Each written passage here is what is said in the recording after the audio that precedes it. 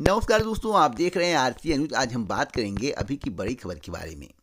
अभी की बड़ी खबर उत्तर प्रदेश प्राइमरी शिक्षक भर्ती 2021 को लेकर है। प्राइमरी शिक्षक भर्ती के इंतज़ार में लाखों प्रतियोगी छात्र बैठे हुए हैं। जो यूपी टेट क्वालिफाई हैं, उनको भी उम्मीद है। जो यूपी टेट क्वालिफाई नहीं है, उनको भी उम्मीद है। कुछ का कहना है कि भर्ती पहले आएगी, यूपी टेट के पहले आएगी। कुछ का कहना है कि भर्ती यूपी टेट के बाद आएगी। देखिए, सभी चाहते हैं कि मौका मिले। चाहे 2019 वाले हों या जो यूपी टेट क्वालिफाई हों जो बीएड, बीटीसी, डीएलएड प्रशिक्षु हों। सभी चाहते हैं सभी को मौका मिले। कोई ऐसा ना हो कि छूट जाए। अगर अब की बार छूट गया तो हो सकता है दो से ढाई वर्ष इंतज़ार करना पड़े।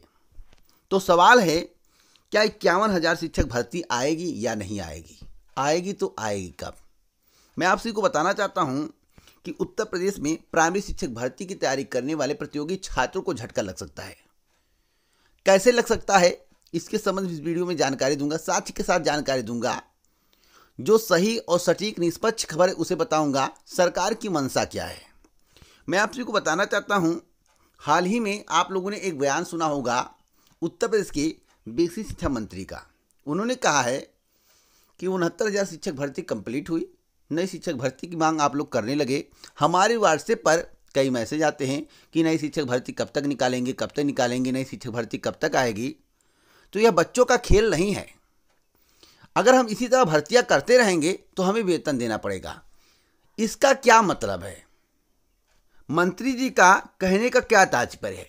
या तो मंत्री जी दो चार छः आठ महीने भर्ती को लटकाने का प्रयास कर रहे हों कि दो चार छः महीने हम भर्ती नहीं निकालेंगे 2022 के चुनावों के मद्देनजर कार्य कर रहे हों या वर्तमान सरकार के द्वारा 2021 में प्राइमरी शिक्षक भर्ती का विज्ञापन जारी करने का विचार ना हो। दो ही बातें हो सकती हैं। या तो 2022 चुनाव के मद्देनजर भर्ती को लटकाने का प्रयास किया जा रहा हो, या सरकार चाह रही है कि विज्ञापन ही ना जारी हो। विज्ञापन 2022 चुनाव की बात जारी हो। फ़िलहाल सरकार का इसमें घाटा है, अगर विज्ञापन नहीं आएगा। क्योंकि सुप्रीम कोर्ट में सरकार ने खुद कहा है कि इक्यावन हज़ार प्लस पद खाली हैं। सुप्रीम कोर्ट ने कहा कि शिक्षा मित्रों को एक अवसर दिया जाए तो सरकार ने कहा, अवश्य दूँगा, भर्ती निकालूँगा, उसमें एक अवसर अवश्य दूँगा। जब इक्यावन हज़ार पद खाली हैं तो सरकार को भर्ती निकालने में क्या परेशानी है? क्या सरकार अपने घर से वेतन देती है? जितने पद स्वीकृत हैं, क्या उसका वेतन अलाट नहीं होता है। कोई अपने घर से वेतन नहीं देता है। तो सरकार की मंशा कैसी है आपको मालूम होगा? बेसिक शिक्षा मंत्री के ज़ुबान से सही बात निकल गई कि सरकार इसलिए भर्ती नहीं करती है जिससे वेतन ना देना पड़े। जो सच्चाई मैं आपको बता रहा हूँ, सवाल है कि भर्ती आएगी तो आएगी कब? अगर 2021 में आती है। वैसे तो सरकार अगर भर्ती नहीं करेगी तो 2022 चुनाव में सरकार को बहुत बड़ा घाटा होगा। तो इस उम्मीद से हम लोग इंतज़ार कर सकते हैं कि भर्ती आएगी। लेकिन आएगी कब? क्या भर्ती पूरी हो पाएगी? तो मैं आप सभी को बताना चाहता हूँ सर, सरकार उसी रणनीति के अनुसार कार्य कर रही है। सरकार ने एडेड जूनियर हाई स्कूल शिक्षक भर्ती का विज्ञापन जारी करके भर्ती को लटका दिया है। लटकाया किस प्रकार से? आप इसे सुन लीजिए। मैं आप सभी को बता दूँ कि एडेड जूनियर हाई स्कूल शिक्षक भर्ती का विज्ञापन 25 फरवरी 2021 को जारी किया जाएगा। तीन मार्च से आवेदन प्रक्रिया शुरू होगी। आवेदन प्रक्रिया ज़्यादा समय तक नहीं चलेगी, लेकिन परीक्षा की तिथि जो निर्धारित कर दी गई है 18 अप्रैल 2021 और परिणाम कब आएगा? 18 मई 2021 18 मई 2021 के पहले यूपी टेट की परीक्षा आयोजित नहीं की जाएगी। आप इसको नोट कर लेना। 18 मई 2021 के पहले यूपी टेट की परीक्षा आयोजित नहीं होगी। उसके बाद आयोजित होगी परीक्षा जून के दूसरे पखवाड़े या जुलाई माह में आयोजित की जा सकती है। अगर बहुत जल्दी किए तो जून माह में। अगर सरकार भर्ती को लटकाना चाहती है, यूपी टेट में विलंब करना चाहती है तो जून के अंतिम या जुलाई माह में।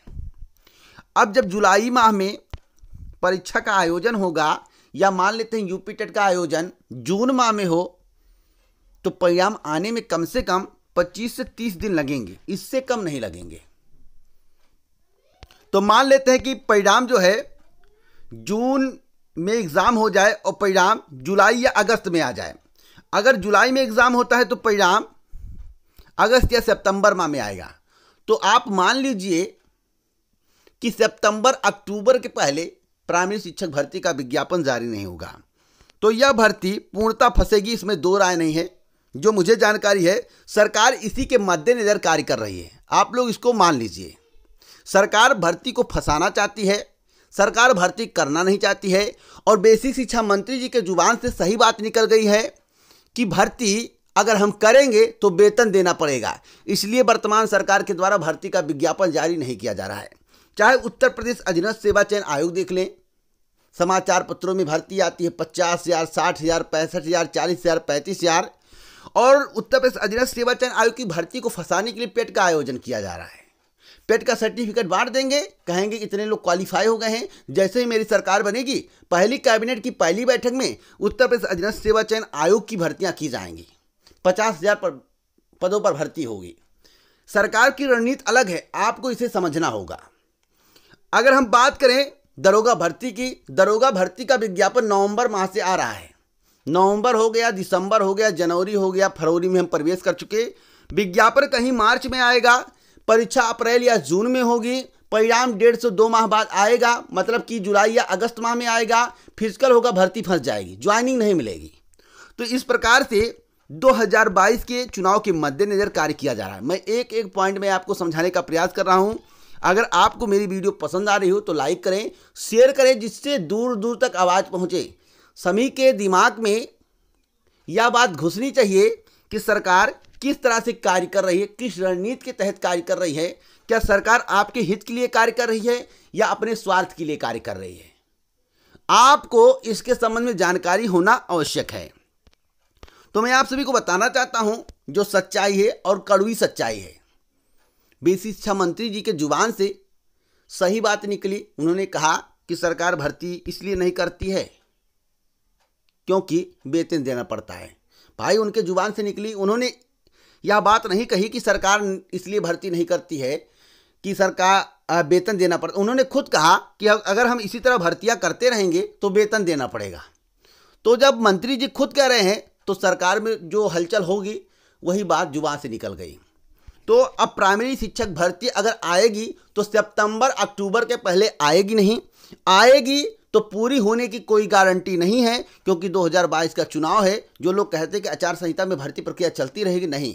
आपको एक लॉलीपॉप मिलेगा और कहा जाएगा, भाइयों और बहनों, जैसे ही मेरी सरकार बनेगी, पहली कैबिनेट की पहली बैठक में प्राइमरी शिक्षक भर्ती को पूरा करने का काम किया जाएगा, और जैसे ही सरकार आएगी, आपको इसी तरह झेलना पड़ेगा, इसमें दो राय नहीं क्योंकि चार सालों में कितनी भर्तियाँ निकाली गई?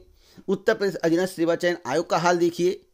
2020 में एक भी भर्ती नहीं आई। हाँ जो नौकरी पा गए होंगे उनहत्तर हज़ार शिक्षक भर्ती में या अड़सठ हज़ार पाँच सौ शिक्षक भर्ती में वह हमारा वीडियो देखेंगे तो उन्हें बुरा लग रहा होगा कि सरकार का विरोध कर रहे हैं। मैं सरकार का विरोध नहीं कर रहा हूँ। अगर सरकार के द्वारा भर्ती का विज्ञापन समय से निकाल कर छः महीने में भर्ती प्रक्रिया पूरी कर दी जाए तो इसी चैनल के माध्यम से मैं सरकार की बड़ाई करूँगा। लेकिन सरकार की जो रणनीति है, जो सरकार कर रही है और करने का प्रयास कर रही है, वही मैं आपको बता रहा हूँ। आगे कोई जानकारी मिलेगी इस चैनल के माध्यम से दी जाएगी। इसी प्रकार की जानकारी के लिए आप हमारे साथ जुड़े रहें। जय हिंद, जय भारत। दोस्तों, नमस्कार।